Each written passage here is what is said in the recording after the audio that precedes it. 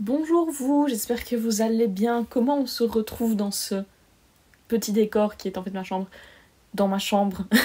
ça fait très très très longtemps du coup qu'on n'a pas fait une vidéo face cam comme ça pour parler. Alors aujourd'hui vous vous en doutez peut-être mais on va partir sur un débriefing de ce fameux voyage que j'ai fait pendant trois semaines du coup à travers la France pour aller visiter mes amis. Donc du coup je suis partie le 29 juillet, j'étais extrêmement stressée, je fêtais mon anniversaire le 30, il venait d'annoncer le pass sanitaire, je n'avais aucune idée de si le pass sanitaire c'était maintenant, c'était après, j'en savais, savais rien, je crois que même eux ils ne savaient pas exactement. J'avais décidé de pas me faire vacciner avant de partir parce que tout simplement j'avais pas le temps. Donc je me suis retrouvée en France sans passe sanitaire à devoir prendre des trains. J'étais à deux doigts d'annuler mon voyage, mais j'ai décidé que j'allais quand même le faire. Je commence mon périple hyper stressée, je n'avais rien mangé de la journée, c'était horrible. Le voyage se passe hyper bien de manière générale, genre vraiment hyper top. J'ai adoré rencontrer tous les gens que j'avais rencontrés. C'est des personnes avec qui je parlais depuis déjà plus d'un an, donc j'allais pas non plus dans l'inconnu total. Mais comme c'était la première fois que je voyageais seule avec des longs trajets, le plus long trajet c'était de Nice à Bayonne, c'était 11 heures de train même plus. Genre j'avais souvent des correspondances, enfin en tout j'ai pris 11 trains je pense.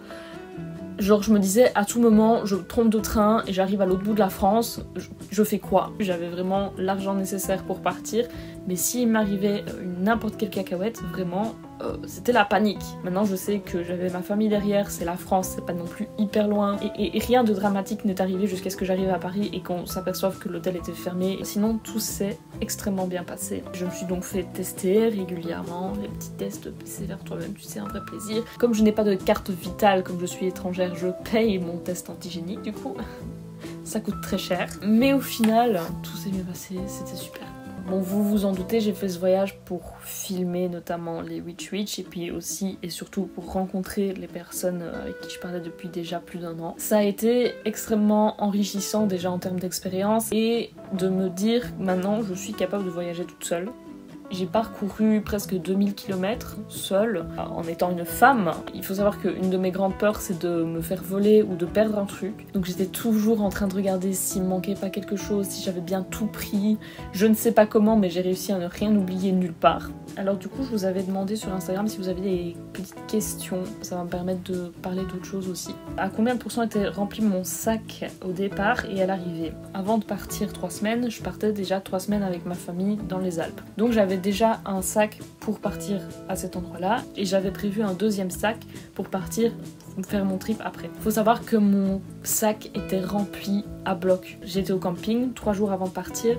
Je me dis il faut que je refasse mon sac, ça va pas être possible, je vais pas pouvoir porter ça. Donc je commence à retirer des trucs. Mon sac avait toujours l'air aussi rempli alors que j'avais retiré genre peut-être euh, un cinquième de ce que j'avais mis dedans. À combien de pourcents il était rempli? Je vais dire il était rempli à 120%.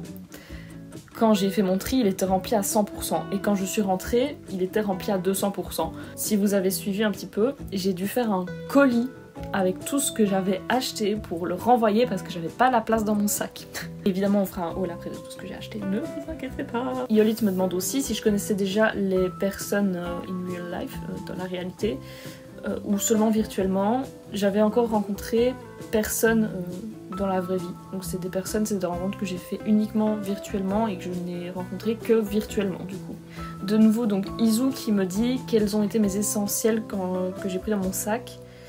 Euh, en parenthèse car tu as été très minimaliste. Je n'ai pas du tout été minimaliste, vraiment pas. J'ai pris trop de trucs. J'avais euh, bah, forcément le nécessaire de toilette, des vêtements, des culottes, des chaussettes, euh, des robes. Euh, enfin voilà, j'avais essayé de prendre pas abusément de vêtements. J'avais pris une serviette et puis j'avais mon petit hôtel portatif du coup. Le souci c'est que j'avais tout mon matériel aussi ordinateur, téléphone, chargeur, tablette, appareil photo, le pied de l'appareil photo. C'est plein de choses qui prennent rapidement de la place, surtout les chargeurs. J'ai essayé de faire un max, mais je pense que sincèrement, genre mon sac était trop rempli pour partir. Il y a des vêtements que j'ai jamais mis. Dire que j'ai été minimaliste, c'est non, c'est pas vrai du tout, j'ai pas du tout été minimaliste. Lou qui me demande si j'ai eu peur pendant le voyage et est-ce qu'il y a des choses qui m'ont marqué? Honnêtement, en fait, le premier jour quand j'ai dû partir, je suis arrivée à Gap du coup.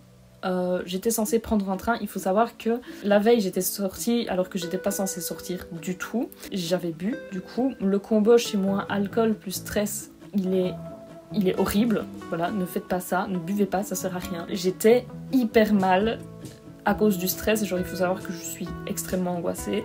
Et donc, le premier trajet, quand je suis arrivée à Gap, j'étais comme ça. Mon papa me regardait et il était en mais est-ce que ça va? Genre, vraiment, à tout moment, il avait l'impression que j'allais mourir. Je n'en pouvais plus, je pleurais, je riais en même temps. Rien n'allait, vraiment rien n'allait. Je suis arrivée à la gare, on a remarqué que c'était pas un train que je devais prendre, c'était un bus. Sauf que moi, j'avais un billet de train, pas un billet de bus. Du coup, j'étais en mode, ça se trouve, ils vont me recaler, je vais être dans la merde. Au final, ils m'ont pas recalé. Je suis arrivée à Marseille. J'avais 5 minutes pour prendre ma correspondance alors que normalement j'en avais 20. J'ai couru ma vie vraiment. En plus, il y avait les portiques, les trucs qui font tic-tic, machin. Il y avait plein de monde. J'étais en mode genre avec mon énorme sac en mode mais cassez-vous, laissez-moi passer.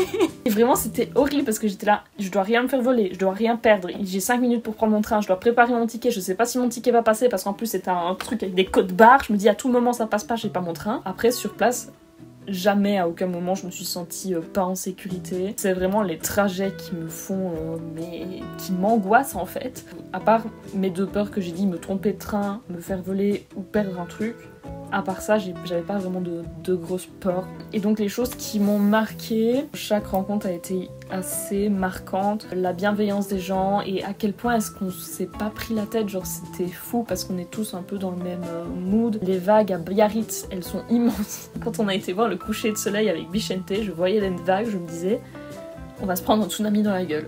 c'est pas possible autrement. Mathis qui me demande quel était le meilleur moment de tous. Honnêtement, à chaque fois que j'arrivais quelque part et que je rencontrais pour du vrai du coup la, personne, ça j'aime trop. Les rencontres, vraiment c'est ce qui m'a ce que j'ai le plus aimé. J'ai rencontré aussi des gens à qui j'ai parlé peut-être genre 20 30 minutes. Et puis euh, ben voilà, on n'a pas gardé contact et ça aussi c'est des rencontres que j'aime énormément. Les rencontres, vraiment arriver et rencontrer la personne avec qui tu parles depuis plus d'un an pour du vrai, ça, c'est vraiment très très fort et, j'ai adoré. Et étonnamment, j'ai pas trop pleuré. J'ai pleuré qu'une seule fois. J'ai chialé dans le train de Tours à Paris. J'ai pleuré. Je sais même pas pourquoi. Je pense juste j'étais fatiguée, c'était la fin du voyage. J'étais en mode waouh, c'est bientôt la fin. J'ai fait tout ça, c'est incroyable. Et du coup, trop d'émotions, le trop plein, j'ai chialé. C'est l'instinct qui me demande c'est qui ma plus belle rencontre. Alors toutes les rencontres étaient vraiment incroyables. Après, il y a une personne avec qui j'ai un feeling depuis, depuis qu'on s'est rencontrés en fait qui est vraiment hyper fort. C'est Bichente. Voilà, je sais que tu regarderas cette vidéo. Je t'aime et je vous aime tous d'ailleurs, toutes les personnes chez qui j'ai été, je vous aime. Bichente, vraiment, c'est une personne avec qui j'ai un feeling extrêmement fort et on se raconte toute notre vie. Genre vraiment, il sait tout de moi. Euh, si je vais aux toilettes, je lui dis. Euh, si j'ai un, si je me mouche, je lui dis. Quand je m'attache les cheveux, genre il sait tout de moi. Vraiment, c'est abusé, ça fait peur même. Et je vais pas dire que c'est ma meilleure rencontre parce que toutes les rencontres étaient vraiment exceptionnelles et géniales. Mais c'est la personne avec qui j'ai le plus de feeling en tout cas. Ce que ce voyage m'a apporté au niveau découverte, voir les autres, parler de pratique, euh, découvrir les petites boutiques ésotériques, découvrir, enfin pouvoir échanger avec les gens, ça, ça m'a apporté énormément. Genre, je pense c'est une émotion que ça m'a apporté, c'est quelque chose de, c'est un souvenir, c'est des souvenirs vraiment très marquants dont je vais me souvenir sans doute toute ma vie et toute ma vie, je vais me rappeler de ce voyage et de me dire waouh, c'est, je suis partie seule.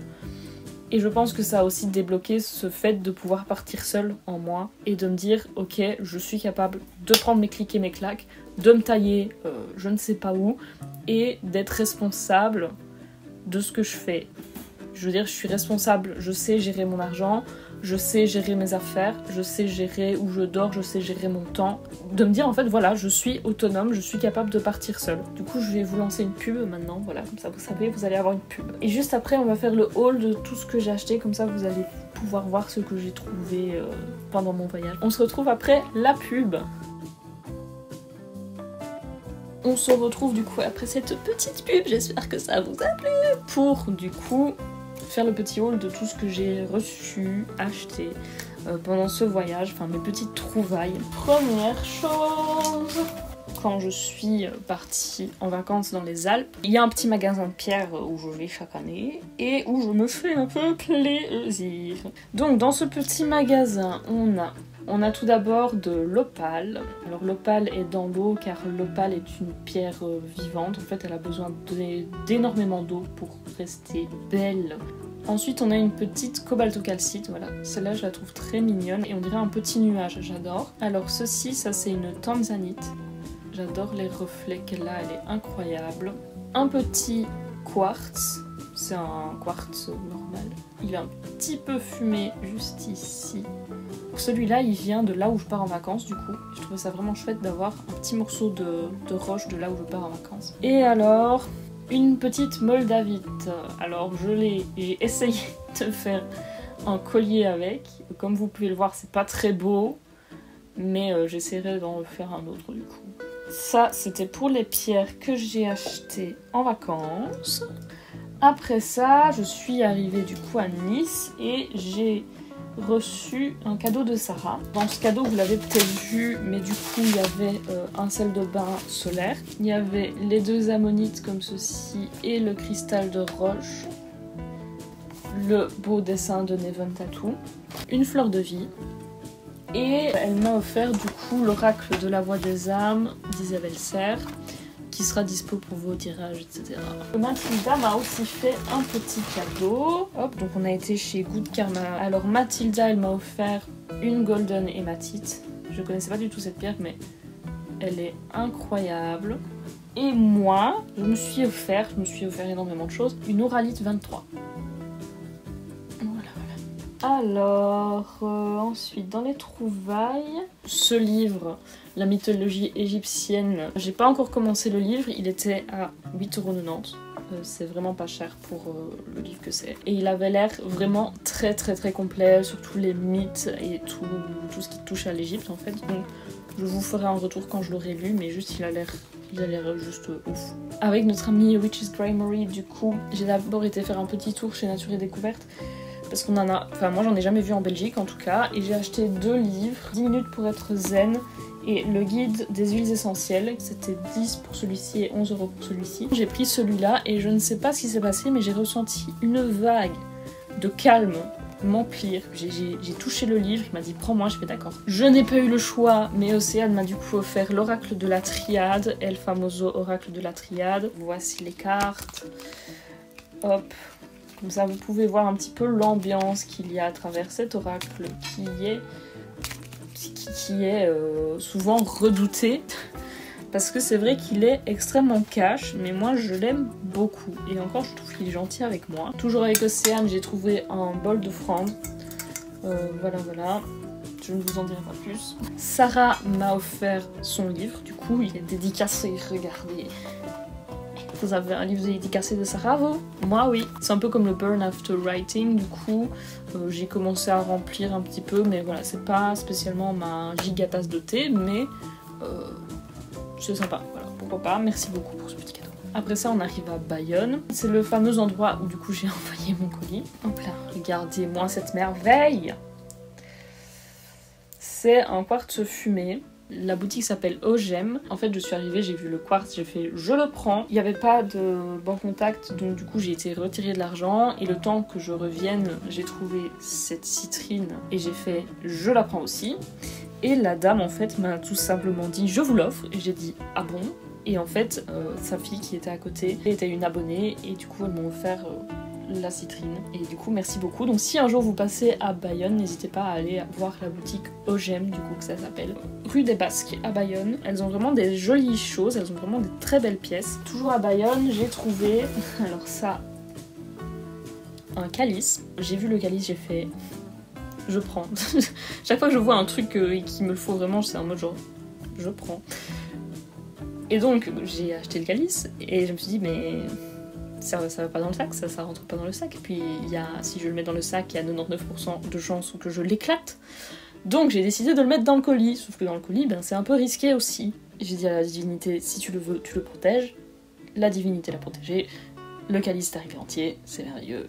Et tout le monde est content, voilà. Mais il est juste euh, incroyable. J'ai oublié, j'ai acheté du coup l'oracle du soleil. C'est un oracle sur l'astrologie. Le livret on en parle ou pas? Il est énorme, il est incroyable, il est trop beau, j'aime trop. Et les cartes, mesdames et messieurs, les cartes, regardez à quel point elles sont incroyables. Alors ça, euh, c'est de la faute d'Océane. Est-ce que quelqu'un euh, est étonné? Pas du tout. mais voilà, il y a beaucoup de cartes dans cet oracle, les cartes sont très petites, mais je l'adore, il est magnifique, il est incroyable, je l'aime trop. le livre des morts égyptiens, des éditions Très Daniel. Alors celui-là, je l'ai déjà commencé et bien entamé. C'est la traduction en fait de ces planches qui étaient euh, avec les défunts. On a l'explication iconographique du coup un petit peu des papyrus et la traduction. Et tout ça, vraiment, c'est hyper agréable au toucher. C'est pour ça que je l'ai pris. Je suis un pigeon, d'accord. Et en plus, il y a un petit coffret, vous voyez, comme ça pour le ranger. C'est trop chouette, j'aime trop. Petit tour à tour, j'ai trouvé, j'ai trouvé du coup un magnifique pendule en labradorite. Je sais pas si vous verrez, mais il y a des reflets qui sont ouf. Je vais les trouver. hein. Ah voilà. Voilà, les reflets sont incroyables. Un quartz hématoïde. Dans la petite boutique, ça c'était euh, à Amboise. Paris pour la dernière petite chose que j'ai trouvée, qui est ceci. Ça c'est de l'ambre, tout simplement. Et vraiment, elle, est folle, elle est très belle, donc c'est de l'ambre brute. C'est- tous mes craquages de slip. Donc très heureuse de tous ces achats, vraiment, et puis de tous ces cadeaux aussi. Je... mais- Merci. Donc merci d'avoir regardé cette vidéo. Je vous invite à aller voir les vlogs si vous les avez pas vus. J'espère que ça vous aura plu. On se retrouve la semaine prochaine pour une nouvelle vidéo du coup. Des bisous, à plus, à bientôt. Prenez soin de vous, je vous aime.